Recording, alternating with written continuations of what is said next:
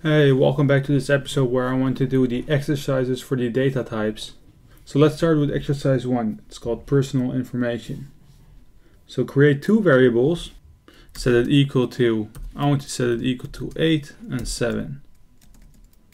Multiply it by 5, assign the output to a new variable called z. So let's create variable z and set it equal to variable x plus variable y. And what we want to do next is to multiply it by 5. But I'm not a great math expert, but we need to put parentheses around it. Otherwise, y will be multiplied by 5 first and then x will be added. So let's echo it out. Let's echo out the total is variable z. Save it. Let me change this to exercises. And you can see that the total is 75, so this works. So let's continue on with exercise number two. Let me remove exercise number one. And exercise two is called value added tax. So create two variables called price and VAT. So let's do that. Price, and let's set it equal to null for now, and VAT. Create a new variable called total price and calculate the VAT on the price and print out the price, VAT and total price. And this needs to be the output. So let's say that price is equal to 100 and VAT is equal to, well in my country it's 0.25. So whatever is in your country, use that. So what we want to do with total price is set it equal to price multiplied by VAT. But that's just, in our case right now, 21. So we need to add price to it. So let's put this inside parentheses as well. Let's echo it out. Echo out price is equal to price. Excuse me, I made a mistake. Let's copy paste it. We need to know the VAT. And we also need to know the total price, which is equal to variable total price, and VAT is equal to VAT. We also need to add a break, so let's add that as well. Save it, refresh the browser, and you can see that the price is 100, the VAT is 0.21, and the total price is 121. So let's go to exercise number 3. Let me remove exercise number two. Create three variables called variable x, variable y, and variable z. And calculate the average, which is also a variable, of the numbers and print it out on the screen. Be aware that the average is a decimal number, so use a function called number underscore format in PHP. So there are a lot of functions, I will discuss them later on in, uh, in a separate section after the functions. And we want to focus on built-in functions. So I want to show you a couple necessary ones. If you want to read more about number underscore functions, just click on the link. But the expected output needs to be the average is variable average. So let's set variable x equal to 4, variable y equal to 9, and variable z equal to 3, 2, 3, sorry. That will be 16, so let's say 4, because we want a decimal number. What we want to do with average is, in parentheses, we want to add variable x and add variable y and add variable z, and we want to divide it by 3, because we have 1, 2, 3 numbers. So let's echo it out to see what the output is. Let's save it. And it's 5.6, many sixes, and 7. So right now we need to use our function number format. And the way you use it is go in front of the variable, write down number underscore format, and put your variable in between parentheses.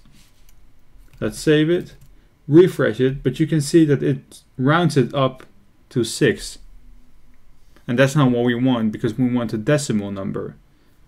And the way you do that is going after the variable and you want to specify some other things. First, you want to say that I want two decimals. So write down 2 followed in single quotes by a separator, which is a comma in our case. And after that we want a space as thousand separators, so just a single space. Let me make this a little bit smaller, save it, refresh it, and you can see that the output is 5.67. Okay, let's continue on with the next exercise. Uh, let me remove this one first. So exercise number four right now. Create an array called countries. Let's do that. Countries and set it equal to array that displays five countries and the capital names. So the expected output is the capital of the Netherlands is Amsterdam, Germany is Berlin. So let's do that. So in this exercise, we need to create an associative array. Remember, you want to set a key and you want to associate it with a value. So let's do that.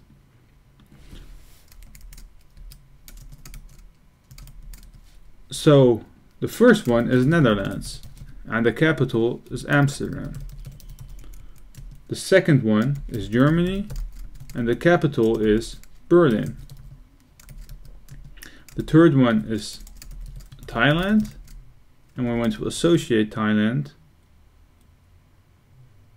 with Bangkok. Let's create two more. Um, we have Belgium.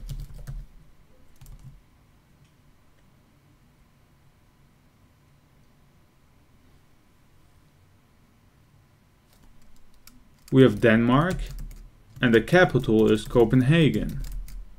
And we also have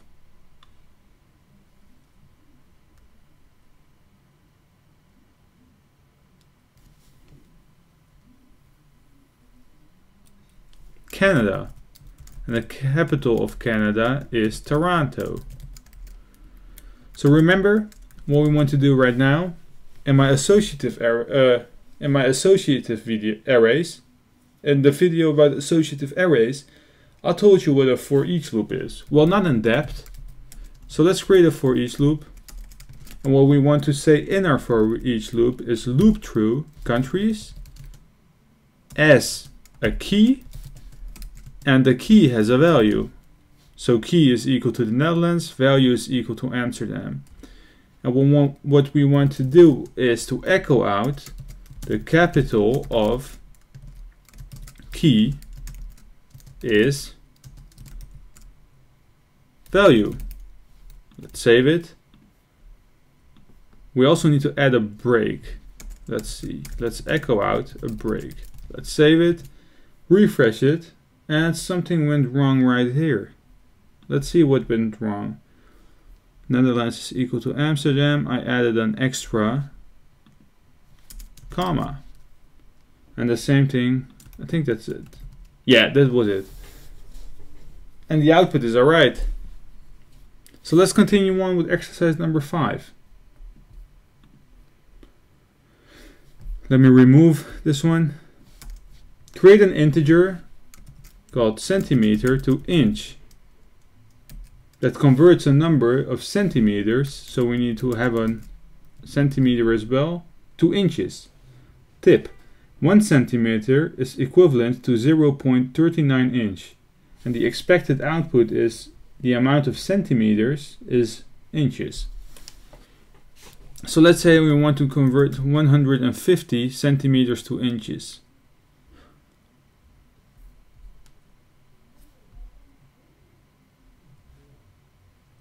The way we do that is the calculation is basically on the screen. Saying centimeters multiplied by 0.39. And let's echo out centimeters concatenated with centimeters is, because remember centimeters, cm, is just a number.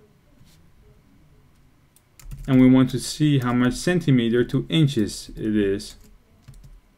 And after that we also need to add inch. Let's save it. Refresh the browser and you can see that 150 centimeter is 58.5 inches. Alright, next exercise. Exercise number 6. Create an array called expenses. So let's do that. Expenses, set it equal to an array. With your biggest expenses of the month, loop through the array and add the expenses in an integer called total amount. So let's create that. Finally, display the total expenses that you had and the amount of values amount of expenses you had stored inside of your array. So let's say amount of expenses.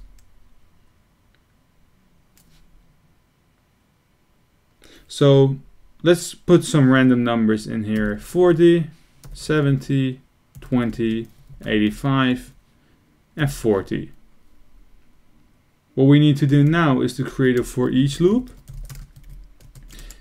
and we want to loop through expenses as one expense, right?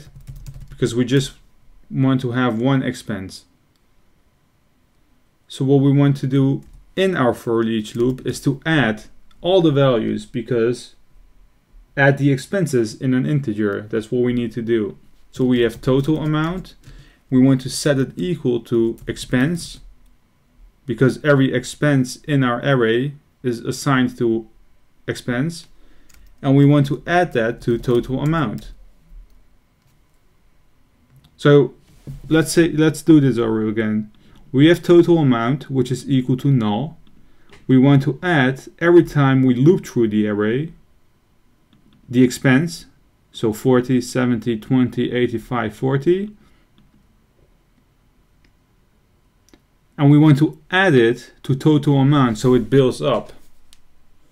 And what we need to do, because we want to know the amount of values we have in our array, is to say that amount of expenses is equal to amount of expenses plus 1. Because every time we loop through the array, we want to add 1. So we know how many times we loop through it. So outside of our array, let's echo out my amount of expenses big well this doesn't make sense biggest expenses were total amount save it refresh the browser and we're getting an undefined variable total amount on line 15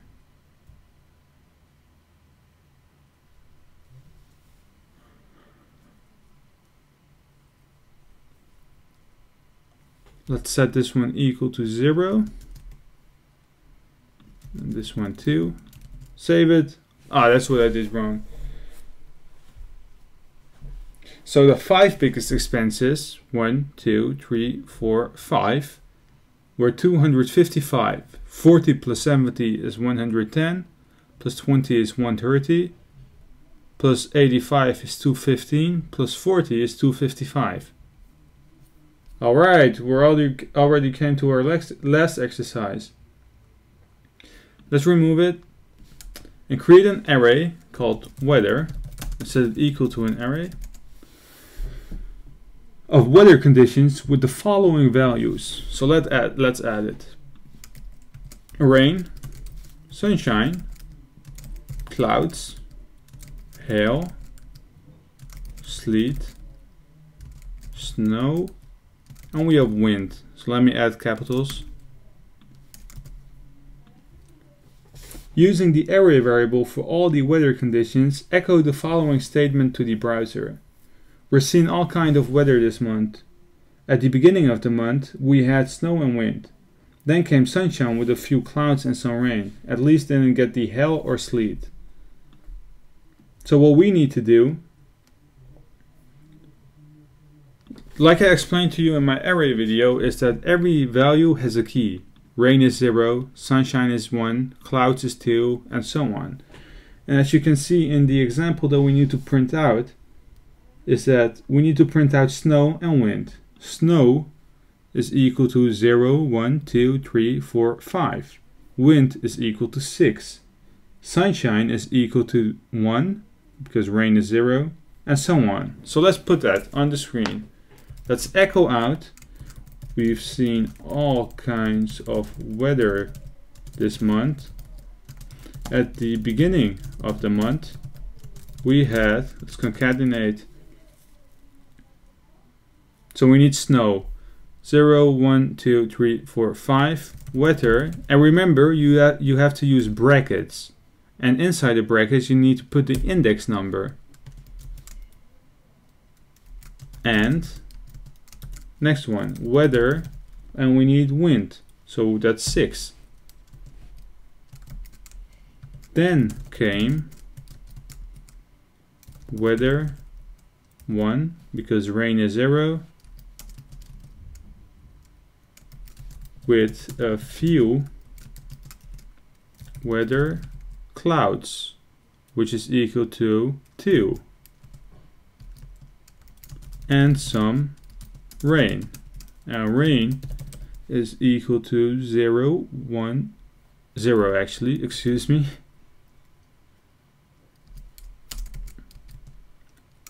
at least we didn't get any